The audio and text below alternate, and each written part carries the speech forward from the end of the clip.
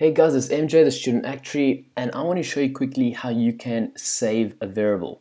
So I've got this little poker game that I've made, and I'm going to be showing some videos on how I did it. But what I want to show in this video is how to save the amount of tokens that you have. Um, because it's very important that if someone had to say leave the app, that they can come back and you know they still have the same amount of tokens. So to do this on Android, first thing you need to do is you need to write this line of code. Public static final string pref's name equals my pref's file. So what you're doing here is you're creating a file on which to save things. Then what you want to do is you want to go where you have the, the protected void on create bundle save instance state. So you want to get into this method here and you want to create something known as a shared preference.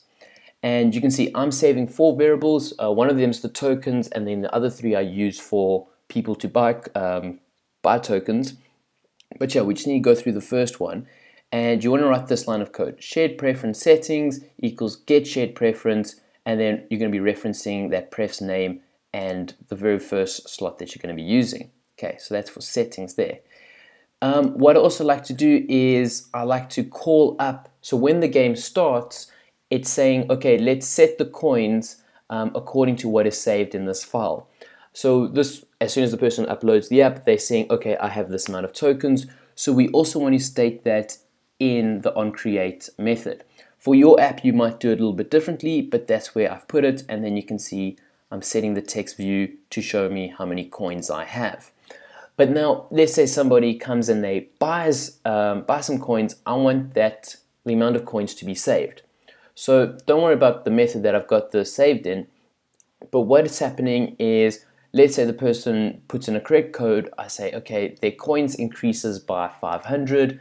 I now need to save that the coins have increased by 500.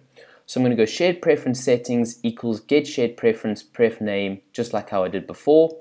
I'm going to say shared preference dot editor equals settings dot edit. Then I'm going to put the coins into the editor, and then I'm going to click this thing called commit uh, you can see my Android Studio is telling me to rather apply it and then you know just hold on to it. But I actually want to commit that value so that if the app ever crashes in the state, the person has got their 500 tokens which they have purchased. And that's basically it. So this is the code that you want to do to save the information. Uh, remember right at the top, this is the information that you want to use to create the storage. And then this is something that you'll use to recall the storage and remember just to create your storage um, at the top here.